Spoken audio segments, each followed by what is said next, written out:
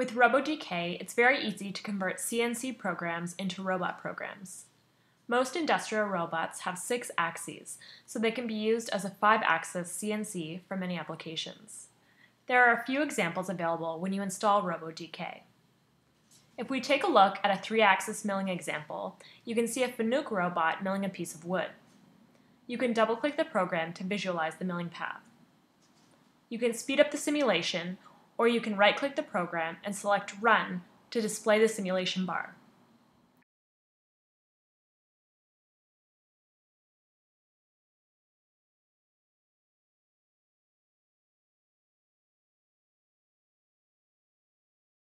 You can display the robot workspace using the asterisk. This will help you if you need to perform the milling operation somewhere else.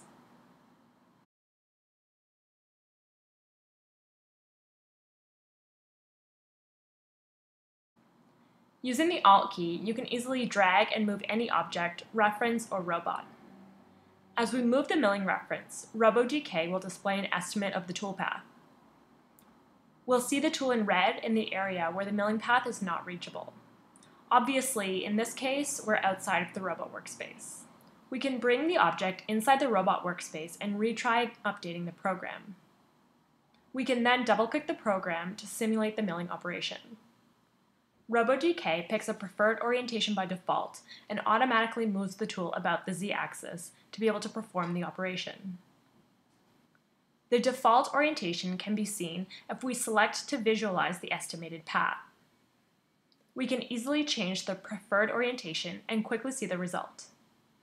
In this case, adding an offset of 90 degrees to the z-axis gives a smoother path.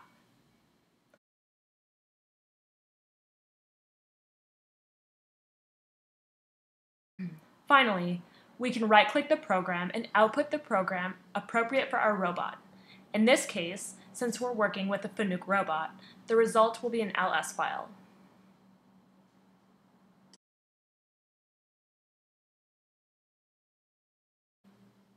We'll now show how to make the previous three-axis milling demonstration from scratch. First, we'll open the online library and select the Fanuc robot and the milling tool. We also need a reference frame as the milling location.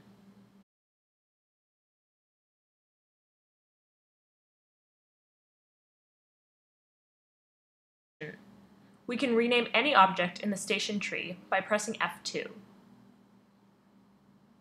We can then import the CNC program. The formats supported are APT and G-code files. This will automatically create a milling project. You can also add a milling project by selecting Utilities, then Milling Project in the menu. The robot, tool, and reference frame have been automatically selected. The path can be imported from a CAM program, a set of points, or a curve in STEP or IGES files. RoboDK will add a 100 mm approach and retract movements along the normal direction by default. We can select Update Program anytime we change our settings. We can then double-click the program to visualize the milling path. We can optionally add an object for visualization purposes.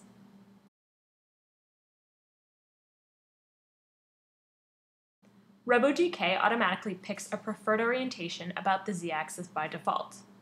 We can modify this orientation by adding a rotation about the z-axis. If we turn the tool about 90 degrees in the z direction, the robot movement is performed from a different orientation. The robot automatically modifies preferred orientation if it has trouble reaching the path. We can select Utilities, then Update All Milling Projects to automatically update the path for the new location.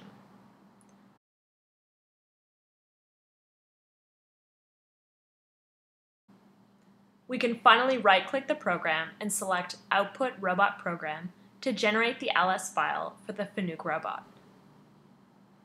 Here's an example project using the robot as a 5-axis milling machine. Since we have a 6-axis robot, we must properly define the behavior of the rotation axis of the spindle. By properly defining the milling parameters, we'll improve the robot movement and avoid collisions or singularities. These milling parameters are defined in the Milling Project panel. We can use different algorithms and quickly evaluate the result after changing the milling parameters.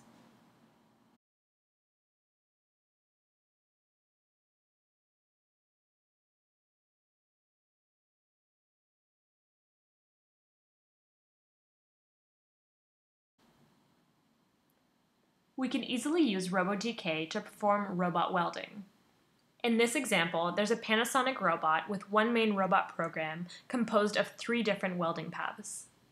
The welding paths can be imported as a list of points, plus a normal vector, as a CNC program, or as curves in STEP or IGES files.